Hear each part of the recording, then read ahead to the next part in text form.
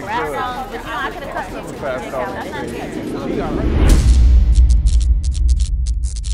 What's good, people? You're watching The Drop. I'm your host, Jay Snow. Cynthia Lucietta's out today. She will be back tomorrow. You hear what I said? Did you hear what the fuck? Either way.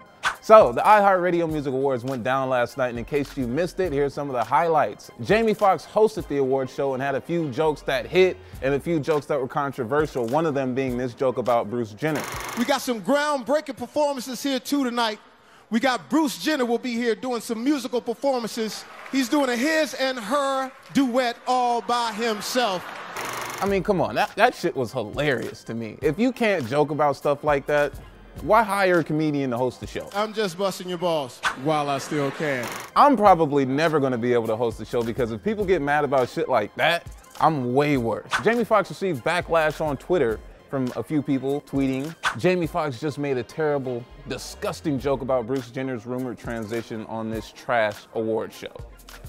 Get off the nigga's nuts. Everybody laughed at the joke he made about Suge Knight needing a seeing-eye dog. Why not laugh about Bruce Jenner's sex change? Either way, moving forward. Taylor Swift won big. She took home the Artist of the Year award and Song of the Year award for her song Shake It Off. Taylor Swift also performed with Madonna. There were performances by Rihanna. She performed her Bitch Better Have My Money. Jamie Foxx and Chris Brown even performed. Nick Jonas, the list goes on and on. Justin Timberlake took home the Innovator Award and had a really heartfelt speech about being different. They called me different. They called me weird.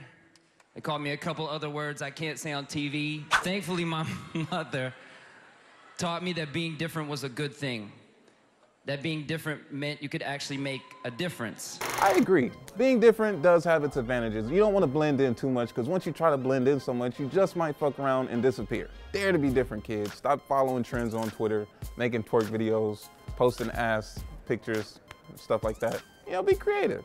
Think outside the box. Also, Iggy Azalea performed with Jennifer Hudson and she had a little prison outfit and Jennifer Hudson was a cop. It, it, it looked kind of weird and the performance was kind of off, but it's way better than her freestyle. As long as she stopped doing that shit, kudos. Did you happen to catch the iHeartRadio Music Awards last night? If you did, let me know what your favorite moment from the award show was in the comments below. Share this video, subscribe to the channel, All Def Digital. I'm your host, Jay Snow. See you tomorrow on The Drop.